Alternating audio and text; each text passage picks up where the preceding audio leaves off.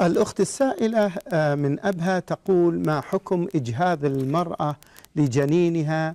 وذلك الحكم في الشريعة الإسلامية. مأجورين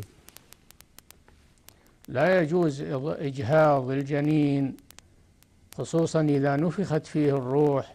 لا يجوز إجهاضه إلا بفتوى من اللجنة الدائمة مبنية على تقرير طبي من ثقات من الأطباء.